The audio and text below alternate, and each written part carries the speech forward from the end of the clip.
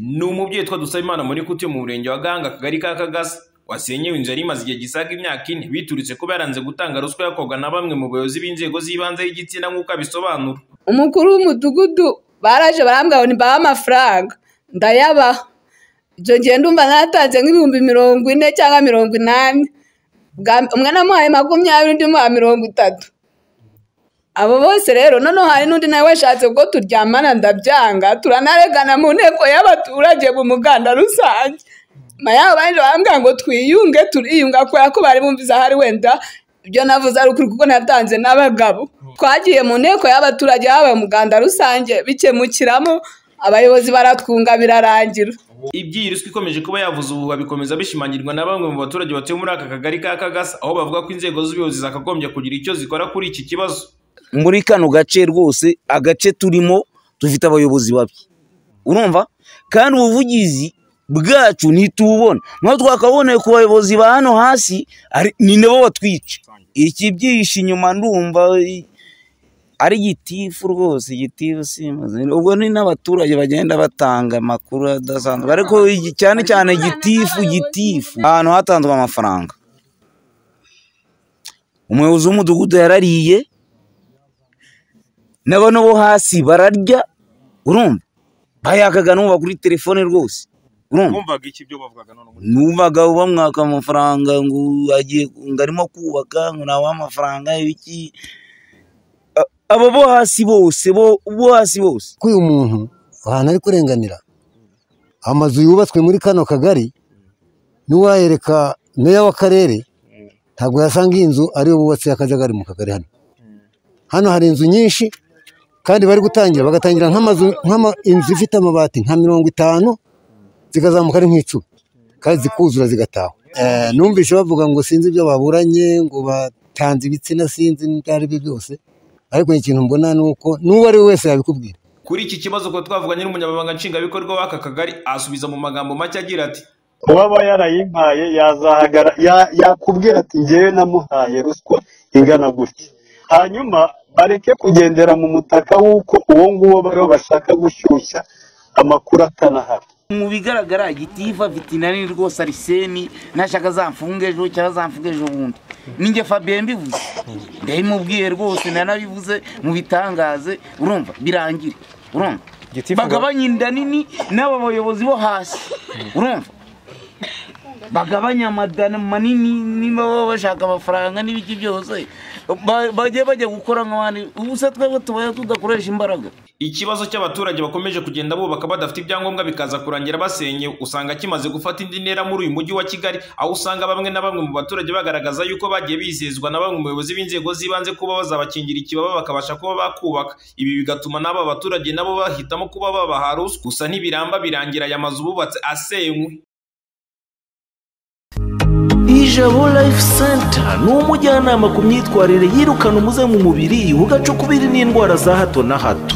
Egera aba bahanga rero bahanga muri iyo mihangayiko ituruka kuri siterese cyangwa imirire mibi. Mu ijabo life center baragukorera reflexology. Ariyo nkanguramyakura detoxification ikura imyanda mu maraso hydrotherapy igabanya ibinure n'umubyibuho ukabije ikanasohora imyanda mu mubiri aromatherapy ihashya indwara zifata imyanya y'ubuhumekero ndetse na masaje ivura ibibazo by'umugongo n'andi mavunane. Niba ufite n'ibibazo byo gutera akabariro kandi gera ijabo life center baguhe amani. Uyu ni umuti w'umwimerere ukomoka ku bimera ugatera abagabo akanyabugabo. Cyangwa se furaha umuti ufasha abagore kongera ubushake. Ijabo life center bakorera i kigali iruhande neza neza rwa gare ya kacyiru. Ahoroheye buri wese kuhagera. Wanahamagara kuri zeru karindwi iminani ine mirongo itatu na karindwi mirongo itatu. Uyu nyirahabineza kereni utuye mu kagari ka karenge umudugudu w'amahoro umurenge wa kibungo. Avuga ko yahawe imashini mu bibiri na cumi n'icyenda nk'urubyiruko. Binyuze mu mushinga wa nepu ukora wigire. Ngo akaza kuyamburwa n'uwitwa amahoro burigite ari nawe yakoreraga yimenyereza kudoda. Ngo kugeza amagingo akaba yimubaza nyuma yo kuhava. Ahubwo ngo akaba amusubiza ko nta mashini yihari ahubwo ngo yayijyanye. Akaba ari n'ahera asaba kurenganurwa agahabwa imashini ye yahawe. Dore ko ngo uyu uw'amahoro burigite atigeze aba umwishingizi w'igihe yayifataga.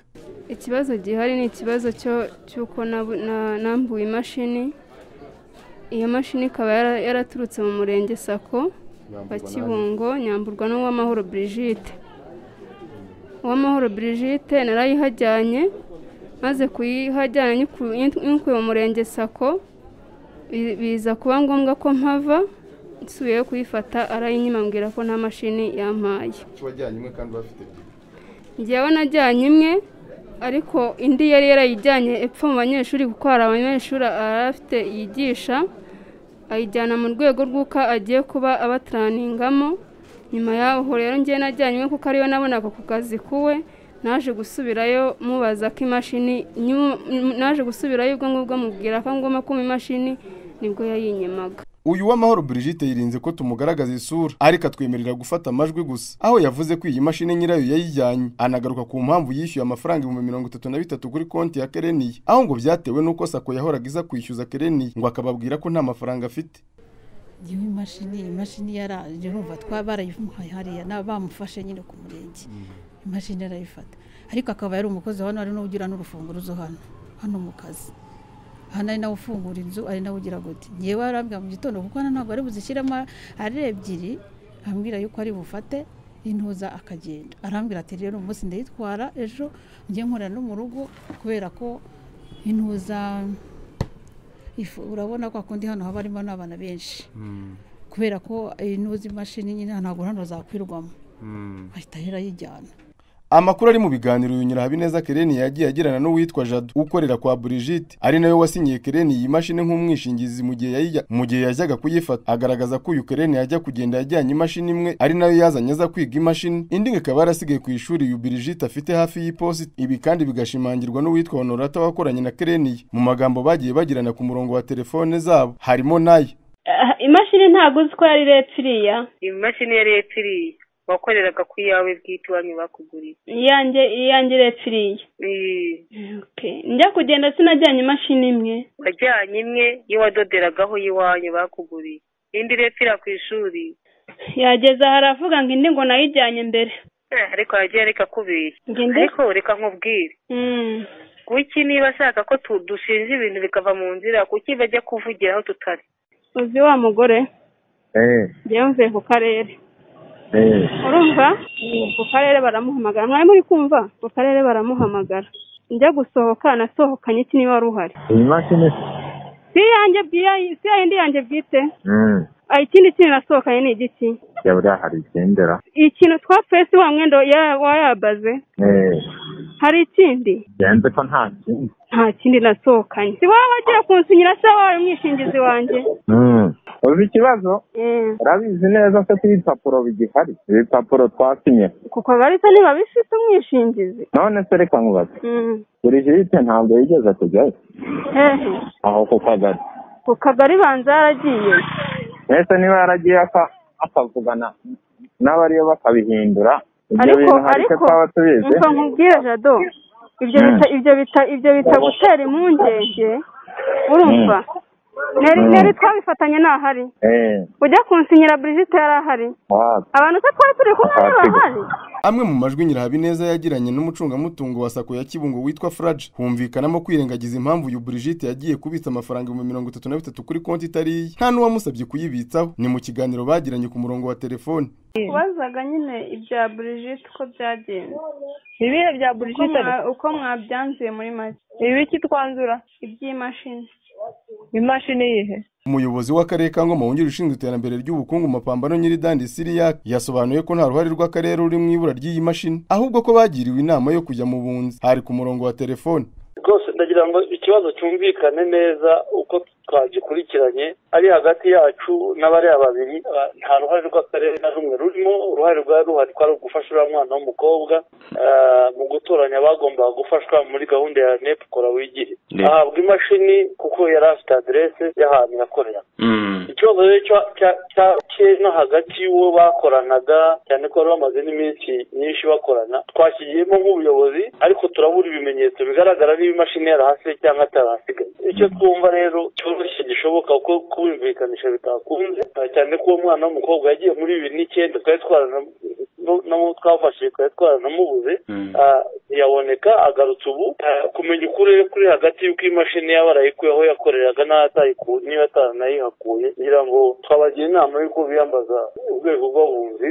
Mu kwezi kwa gatanu umwaka w'ibihumbi bibiri na cumi n'icyenda ni bwo nyirahabineza kereni yasabwe gufunguza konti kimwe n'urundi rubyiruko. Azajya yifashisha mu kwishyura amafaranga y'imashini nyuma ari nabwo yaje kuyihabwa kimwe n'urundi rubyiruko rwiganjemo abogoshi abakanishi ndetse n'abakora umwuga wo kudoda imyenda. Yusufu ubona bagenda btn mu karere ka ngoma. Ijabo life center ni umujyanama ku myitwarire yirukana umuze mu mubiri ugacukubiri n'indwara za hato na hato. Egera aba bahanga rero bahanga muri iyo mihangayiko ituruka kuri siterese cyangwa imirire mibi. Mu ijabo life center baragukorera reflexology. Ariyo nkanguramyakura detoxification ikura imyanda mu maraso hydrotherapy igabanya ibinure n'umubyibuho ukabije ikanasohora imyanda mu mubiri aromatherapy ihashya indwara zifata imyanya y'ubuhumekero ndetse na masaje ivura ibibazo by'umugongo n'andi mavunane. Niba ufite n'ibibazo byo gutera akabariro kandi gera ijabo life center baguhe amani. Uyu ni umuti w'umwimerere ukomoka ku bimera ugatera abagabo akanyabugabo. Cyangwa se furaha umuti ufasha abagore kongera ubushake. Ijabo life center bakorera i kigali iruhande neza neza rwa gare ya kacyiru. Ahoroheye buri wese kuhagera. Wanahamagara kuri zeru karindwi iminani ine mirongo itatu na karindwi mirongo itatu.